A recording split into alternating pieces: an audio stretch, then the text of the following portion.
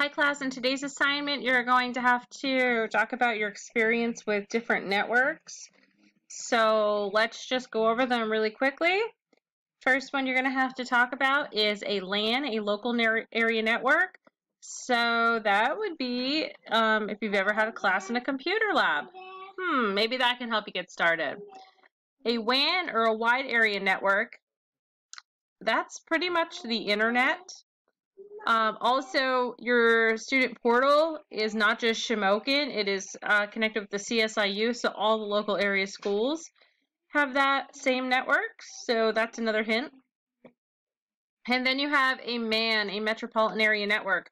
That is um, like when some cities have Wi-Fi all throughout towns or cities, um, they, they can, that, that is a MAN.